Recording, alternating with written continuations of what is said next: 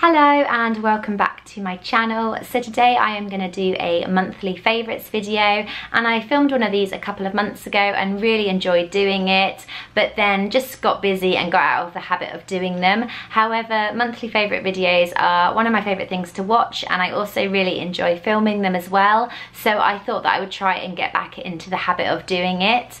I also said on my last video that I find that a lot of monthly favourite videos are very focused on beauty things.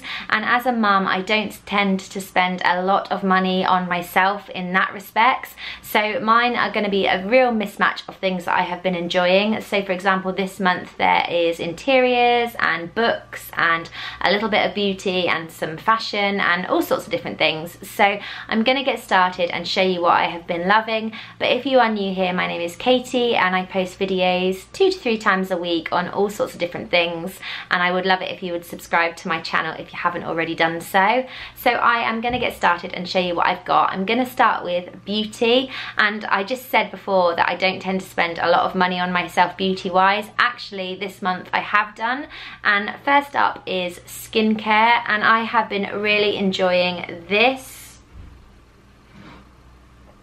and this is the Trilogy Certified Organic Rosehip Oil and basically I have always been a very much take my makeup off with a wipe kind of girl. I go through phases where I get kind of into skincare if I got something for Christmas or whatever but I've very much been quite a just relaxed take it off with a wipe kind of girl. And I know there'll be some people out there who are like, oh no, don't do that. But I've always been like it. However, as I'm getting older, I have started to get more kind of worried about my skin and want to take more care of my skin. And I was having a conversation with my friend Rebecca a couple of months ago. She vlogs over at Mrs. Meldrum. I'm sure you will follow her anyway. And she was saying that she swears by this, which is the Certified Organic Rosehip Oil by Trilogy. And I thought I would give it a go and it was more than I would normally spend on myself on a single product. Like I said, I'm more of a white type of girl. I think that this was about £35. I will make sure I leave as much as I can in the description box below so you can go and check them out if you want to. But yeah, I think it was a little bit more than I would normally, well, it was way more than I would normally spend. But I'm absolutely loving this. And I don't know if you can see, but I've still got the majority of the bottle left because you only need to use two to three drops and it really leaves my skin feeling very, very hydrated and nourished. And it's supposed to help with kind of scars as well and like like fine lines and I'm just generally really loving it. You can use it morning and night but I find that I only really need it at night time and I'm just really enjoying it. I don't know if it's made any difference to my skin. My mum said that my skin looked a bit brighter but I don't know if she was just telling me what I wanted to hear but I really am enjoying this so thank you to Rebecca for recommending that to me. Next up, also on the lines of skincare and also on the lines of moisturising. Like I said, I am not quite there yet with my skincare routine. So if you have anything that you swear by, then do leave me a comment below and let me know. But I'm still kind of taking it off with my micellar water and then sort of moisturising. So if you've got a good routine that you'd like to share, do leave it below. But I am really enjoying this and this is the Neutrogena Hydro Boost Gel Cream.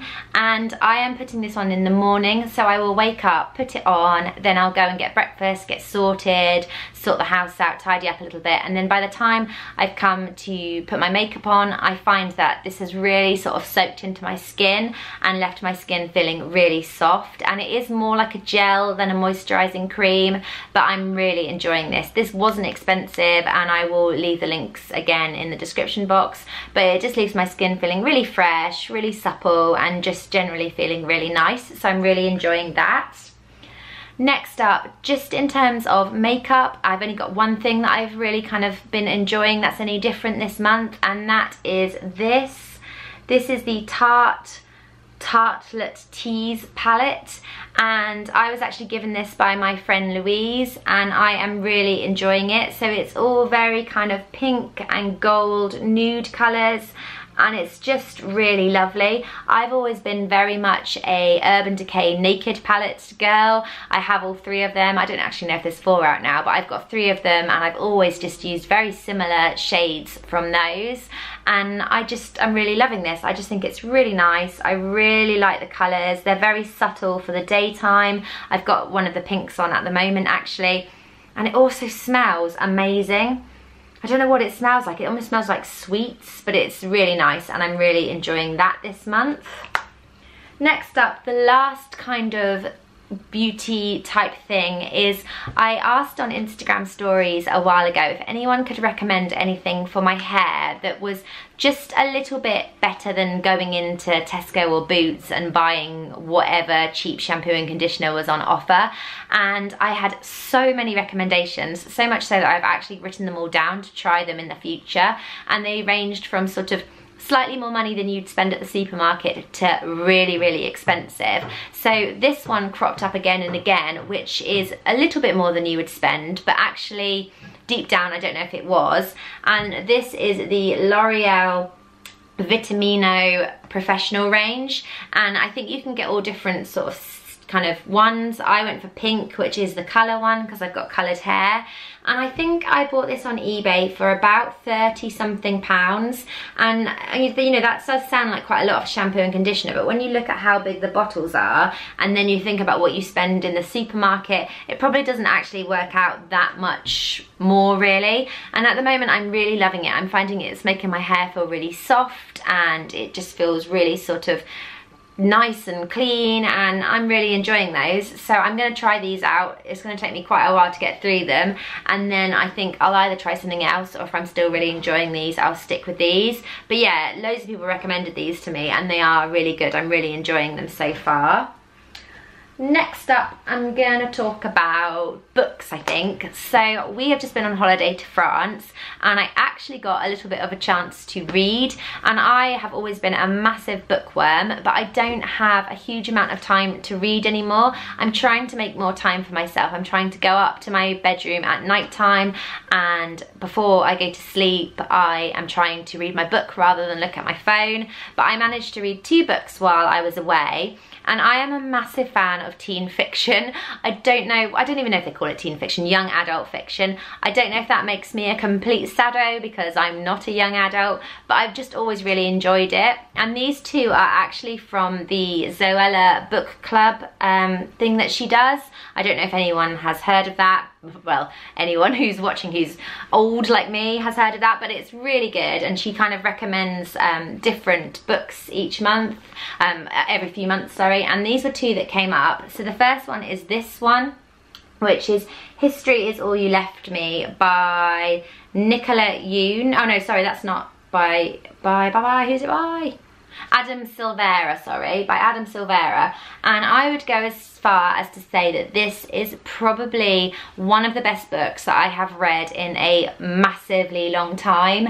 And I always find that it's quite hard. You don't want to say too much about it because you don't want to give away the plot for anyone that wants to read it. But basically it is about a young teenage boy who is gay and he has um, basically lost his best friend. I'm not giving anything away because that is on the back.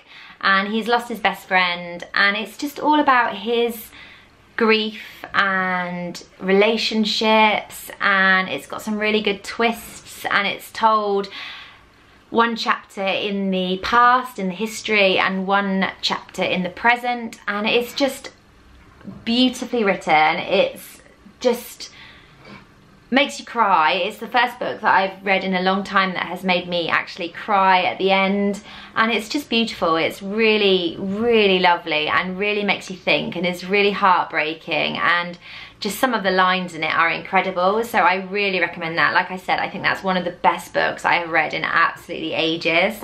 Next up is this one which is Letters to the Lost by Brid Brigid Kemmerer and this is about a girl called Juliet who has lost her mother and she writes letters to her and leaves them by her grave.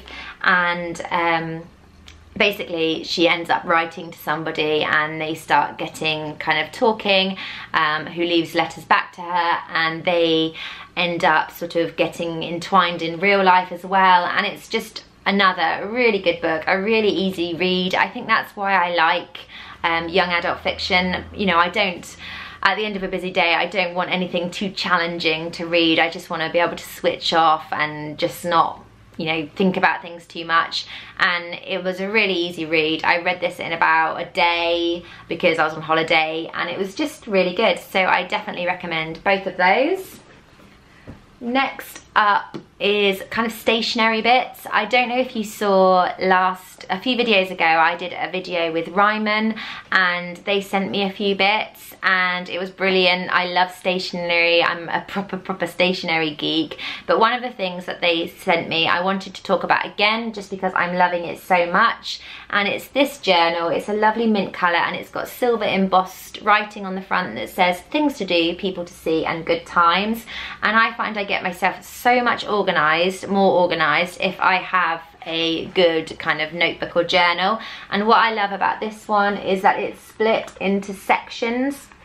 So the sections are this you can put the date at the top so today and then the sections are this will make today great stuff i'm supposed to do things to achieve people to call dates drinks and dinners and notes and doodles and i just love this. I'm finding it's helping me get really organized. I love that each you know you can put the date on each day and it gives me a clear view of what i'm trying to do and what i'm trying to achieve that day and i just absolutely love this. I'm getting on really well with it and it's pretty as well and then the next up in terms of stationery, a couple of months ago, I put on Instagram that I'd bought a new diary and everybody was like, where's it from, where's it from? That was, I don't even know where it was from, I can't even remember. I used it for about three weeks and then got fed up of it. And that sounds ridiculous, but I have to really sort of gel with a diary. I always find that my husband says to me, oh, why don't you use your calendar on your phone? But I just can't use my phone calendar. I love a good old fashioned way of writing in a diary and seeing what I'm doing each day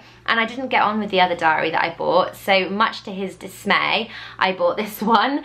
And this was from kikki.K. I don't know if you've heard of kikki.K. It is an amazing stationery shop like absolutely amazing.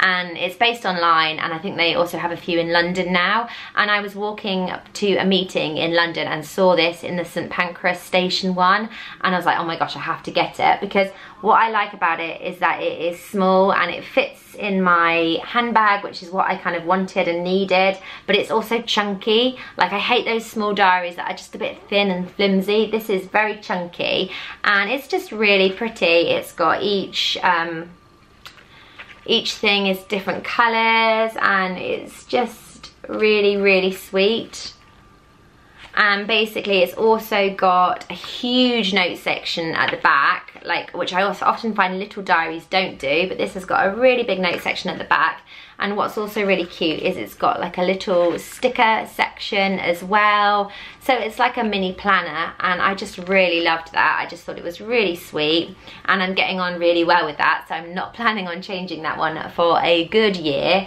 And that was quite expensive. kikki.K is quite expensive I think for stationery but I do think it's worth it. That was 18 pounds and yeah I absolutely love that Next up, I'll just do my last couple of bits, which are interior bits.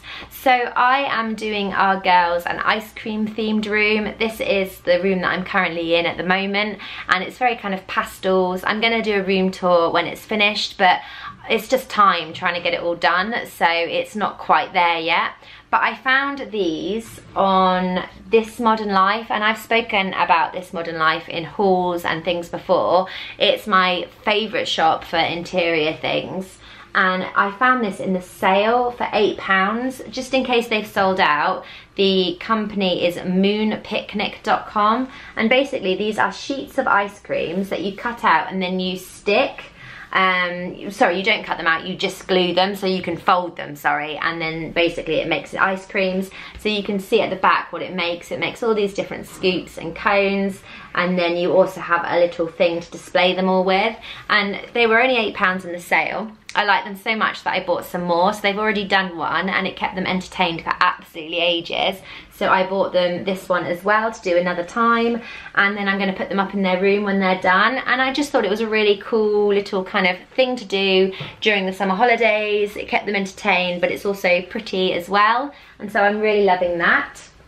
And finally, the last thing is a bit random, very random actually, but I am loving this. So I'm a proper blogger cliche. If you look at my Instagram, you'll know that I love a cactus and I just couldn't resist this light and it's by the brand Sunny Life. They sell these quite a lot of different places. Like I think they sell them in that This Modern Life I've just talked about. I got this one in Paperchase and I just love it. I'm gonna put it in our playroom. What's really good about it is that it operates by battery and it also has a plug as well. So if you can plug it in, then you can. But I'm gonna use it with the battery because I'm gonna put it on the shelf in our new playroom when the shelf is up. It hasn't been put up yet. But I just really like this. I just thought it was really cute. I love neon lights and I just thought that that was really fun. And so I got that. And that is it. That is all the kind of things I have been really loving this month. Do let me know if you liked any of the things that I mentioned and do let me know if you enjoyed this video and you would like me to do more of them and what kind of things you'd like to see on them. And otherwise, thank you for watching and I will see you next time. Bye!